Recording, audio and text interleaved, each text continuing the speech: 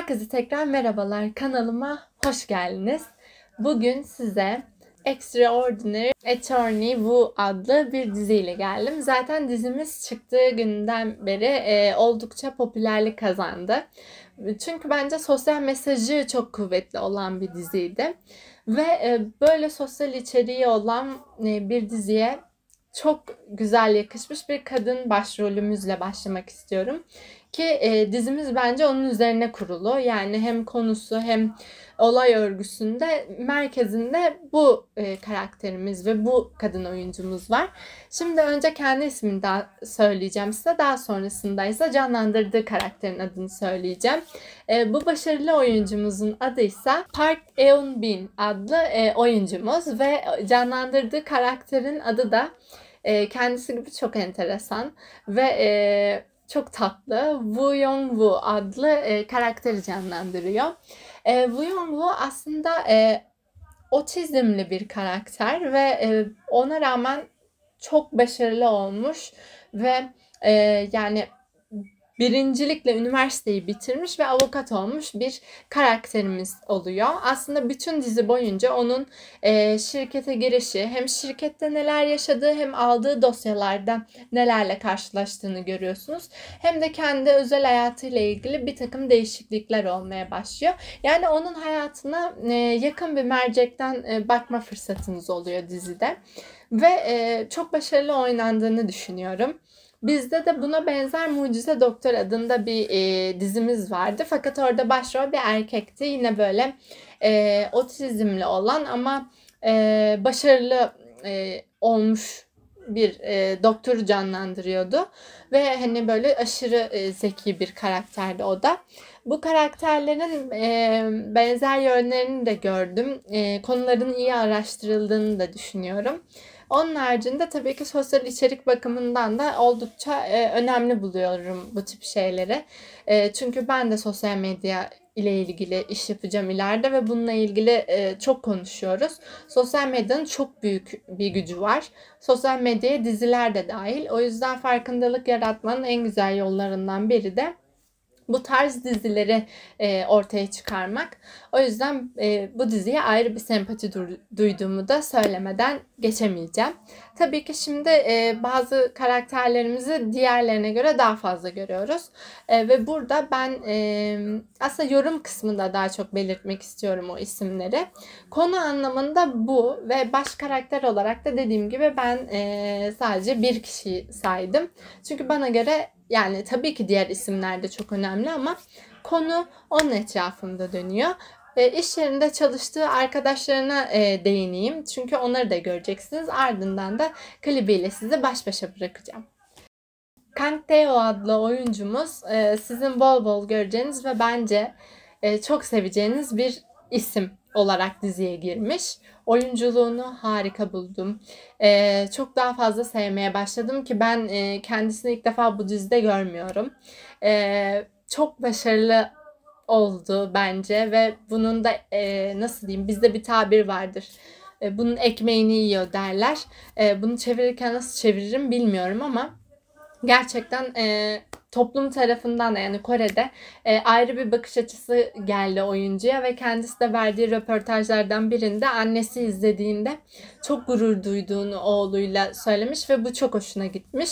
O yüzden böyle bir karakteri canlandırdığı için çok mutlu olduğunu söylüyordu. Büyük bir sempati kazandı bu diziyle beraber ki e, ben yani Be, bende de öyle oldu. Canlandırdığı karakterle çok bağlantılı olsa gerek diye düşünüyorum ama kendisinde tabii ki oyunculuğu e, asla e, geçilecek gibi değil. E, çok başarılı buldum dizide ve e, çok severek izledim bu karakteri. Bir diğer tatlı karakterimiz de aslında e, Woo Young-woo ile üniversite çağlarında tanışmış ve e, böyle aralarında tatlı bir rekabet olan bir isim ve bu baş yani bu oyuncumuzun adı ise Yoon Kyung Ha adlı oyuncumuz. E, ben onun da karakterini çok tatlı buldum. O da dediğim gibi e, bu burada birlikte çalıştığı arkadaşlarından biri yani şirkette çalışan avukatlardan biri stajyer olarak çalışıyor. Bir diğer ismimiz de bence karakteri biraz gıcık yani bence değil çoğu kişi tarafından öyle düşünülüyordur. Gerçekten gıcık bir karakter. Ee, bunu söyleyeyim ufak bir ipucu olsun. Fakat e, eminim özünde tatlı bir oyuncudur. Ben kendisini ilk defa burada gördüm. E, o oyuncumuzsa Jo Jong-hyuk adlı e, oyuncumuz. Dediğim gibi ben ilk defa gördüm ama e, başarılı bir oyunculuğu olduğunu söyleyebilirim. Karakteri bize yansıttı yani o gıcıklığı hissettik hepimiz bence. Ve tabii ki onu da söylemeden geçemeyeceğim çünkü e, çok sevindim böyle bir rolde olmasına. E, ilk defa böyle hani e, ne çok saf bir karakter olarak ne de böyle çok aşırı e, entrikacı bir karakter olarak değil. Böyle e, kendine çok yakışmış bir rolü oynuyor bu oyuncumuz. Şimdi hemen onun da adını söyleyip e, bu konu kısmını bitiriyorum. Bu oyuncumuz da Kang Kyung adlı e, oyuncumuz. Zaten ben e, birkaç kere ismini söyledim kanalında. Birçok dizisini de izledim. E, ve çok iyi canlandırmış burada karakteri. Burada da bu stajyerlerin üstünde yani onların bir nevi başkanı durumunda bir karakteri canlandırıyor. Fakat o şey gelişimini çok güzel görüyorsunuz. Yani toplumda e, otizmli insanlara bakış açısı nasıl fakat tanıyınca neye evriliyor bunu e, göreceksiniz. Bu karakter de bu anlamda önemli bulduğum bir karakterdi. E, evet şimdi konu kısmı bu kadar. Klibiyle sizi yalnız bırakayım ardından da yorumlarda görüşürüz.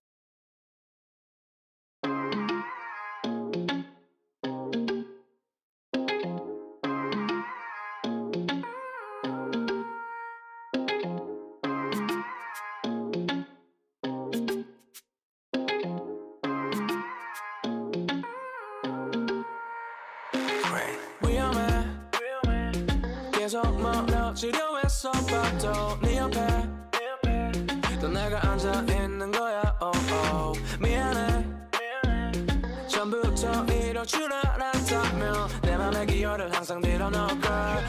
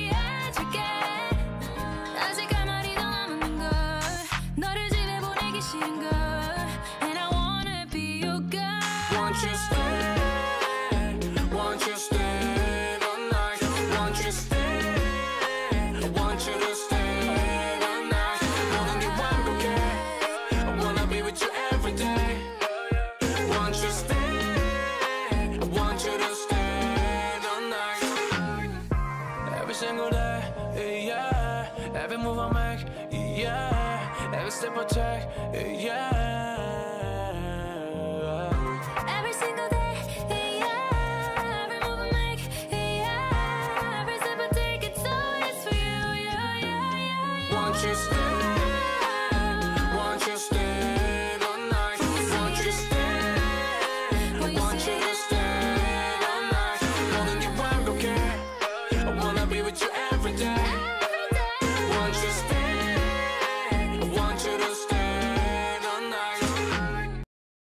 Evet, yorum kısmına e, geldiğim zaman ilk söyleyeceğim şey tabii ki dizi çok güzel olmuş. E, çok tatlı bir dizi olmuş.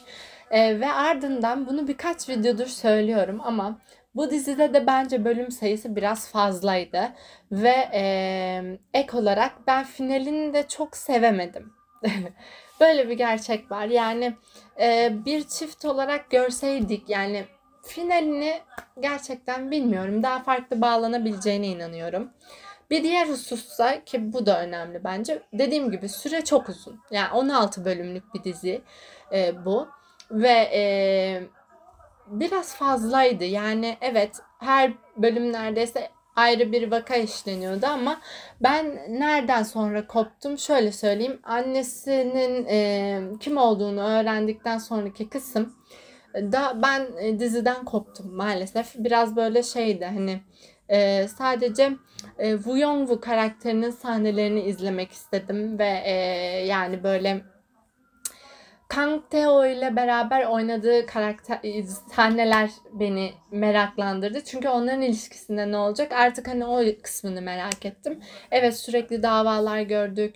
Çok güzel bu arada işlenmiş davalarda benim için en güzel bölümlerden biri de e, bu e, çocukların dershane kurs olaylarının işlendiği bölümdü. O mahkemede hep birlikte e, bu şey için şarkı söylemeleri vesaire benim en favori bölümüm oydu. E, onun dışında dediğim gibi e, bir tık uzundu bence yine bu dizi. Onun haricinde ne diyebilirim? Şöyle bir e, düşünüyorum. Ha şey sahneleri güzeldi bence. Yani toplumun bakış açısını yansıtan sahneler. Çünkü maalesef e, gerçekleri yansıtıyor bu dizideki bizim abartı gördüğümüz kişiler. Hani kimse böyle yaklaşmaz diyorsunuz ama öyle olmuyor e, genelde. Yani bu e, bu tip konuların e, sosyal mes- mesaj olarak işlenmesi bana doğru geliyor. Kimi insanlara bu yanlış geliyor. Yani bu tip şeylerle prim mi yapıyorsunuz vesaire ama e, ben öyle düşünmüyorum işin aslı. Birçok karakteri işliyorsak yani niye ötekileştirelim ki? Niye onların da hayatlarını görmeyelim? Bence çok da güzel olmuş. E, dizi hakkında başka böyle bir şey e, söyleyemem. Yani kadrosunu da sevdim. Konusunu da sevdim. Dediğim gibi bir tek final e, kısmıyla e, uzunluğu beni bir tık böyle endişelendirdi ve bir tık düşündürdü ama onun dışında e, çok da güzel sahneleri de vardı. E, özellikle ben şunu söyleyeceğim. E, benim çok se sevme yani sevmek doğru tabir mi bilmiyorum şimdi. E, şöyle şiddete hayır tabii ki ama e, yani acımakla aşk aynı şey değil demişti arkadaşı e, Kang Teo'ya ve orada yap yani o sinirleniş süreci, oyunculuğu çok iyiydi. E, o sahneyi ben çok beğendim. Yani şey olarak e, gerçek hayatta da öyle görüyoruz. Ne bir böyle işte aman düş oran buran çarpmasın diye bazı oyuncular çok dikkatli düşüyor. Hatta bizde de böyle çok komik e, hallere gelen oyuncularımız vardı. E, böyle sahnelerde kendini çok böyle e, soft atıyor. Yani çok kendine zarar vermeyecek şekilde kontrollü atışlar yapıyorlar. Bu sahnede onu hissetmedim. Ben o anın gerilimini ve duygularını hissettim. O yüzden onun da hakkını vermek gerek diye düşündüm. Ee, bu kadar benim yorumlarım. O zaman çarşamba günü tekrar görüşmek üzere. Kendinize iyi bakın. Hoşçakalın.